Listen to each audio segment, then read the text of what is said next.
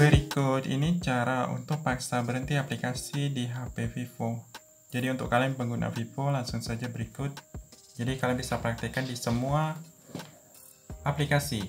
Nah, entah itu di WhatsApp dan lain-lain.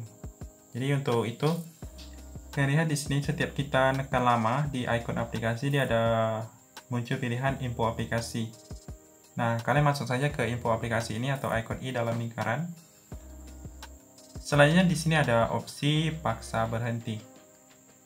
Jika aplikasi dipaksa berhenti, fungsinya mungkin ter akan terganggu. Pilih OK. Jadi setiap kita pilih paksa berhenti, aplikasi ini tidak akan aktif di latar belakang. Nah, seperti ini. Dia tidak akan aktif. Jadi ada chatting masuk, panggilan masuk tidak akan muncul di HP kita. Karena terjeda. Karena latar belakangnya sudah tidak aktif. Untuk kalian yang ingin menormalkan kembali, yang seperti ini cukup dibuka ulang saja seperti ini.